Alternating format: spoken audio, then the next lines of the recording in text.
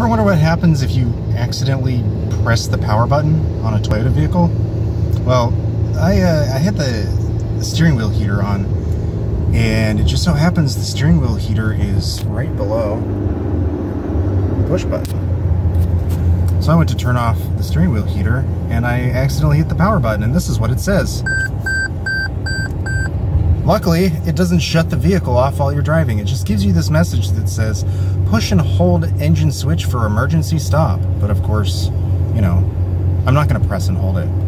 But uh, yeah, it, uh, it won't let you turn the vehicle off if you're in motion.